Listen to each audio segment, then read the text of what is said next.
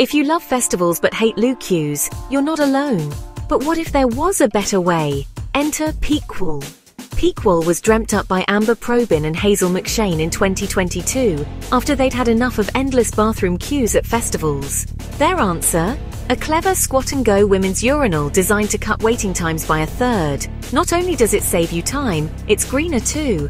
One truck can carry 56 Peequals compared to just 21 standard loos. That's less transport, less hassle, and more dancing for everyone. Peequal didn't just stop at festivals. It's already won awards, like Startups 100's DEI Honor, and attracted big name backers, including Monzo's former CEO Tom Blomfield. This is what happens when empathy meets smart design and sustainability. Small changes creating big social impact. So next time you're at a festival, look out for Peequal and spend less time queuing, more time living.